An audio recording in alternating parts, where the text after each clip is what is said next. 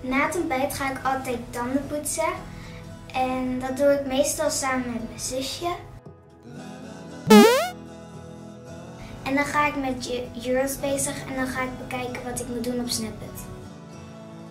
Op Snapchat heb ik eh, verschillende soorten vakken. Rekenen, taal, spelling. We hebben ook woordenschat. En ik kan ook chatten met mijn meester en juf. En eh, we hebben ook automatiseren. Dat is een soort rekenwoord dan met alles door elkaar.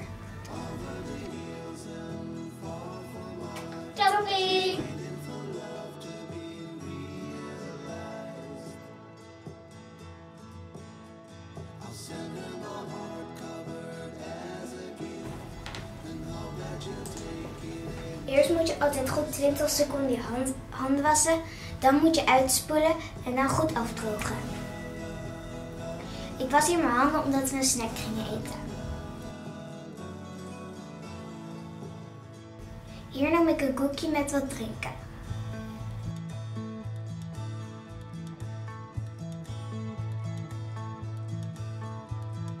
Na het drinken gingen we buiten spelen.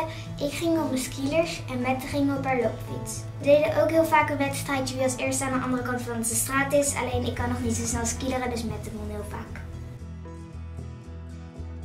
Toen na het skileren was ik een beetje moe, dus toen ging ik iPad kijken in brugklas.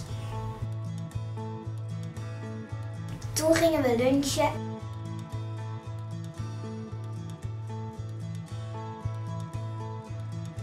Hier zie je dat ik boter op mijn brood smeer.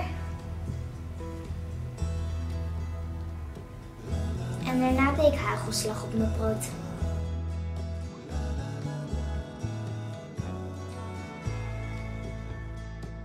Toen gingen mijn ouders en mijn zusje en ik even een stukje wandelen en ik ging weer op mijn. Alleen ik schaamde me een beetje omdat het was een hele grote camera en iedereen keek me heel raar aan. Mette en ik gaan ook heel vaak met slijg spelen, maar meestal doe ik het alleen maar soms met mijn zusje. En dat doe ik meestal voor het slapen gaan, maar nu deden we dat voor het eten. Toen gingen we pannenkoeken eten, alleen het waren best wel weinig pannenkoeken eigenlijk, want ik wou nog veel meer.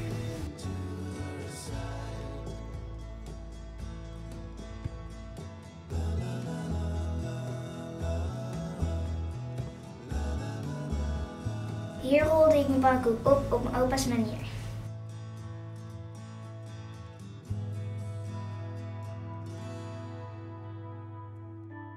Na het eten gaan we altijd tv kijken. Maar er was nu niet echt veel leuks op. Na het eten of na het tv kijken ga ik altijd douchen met mijn zusje. En daarna ga ik naar bed.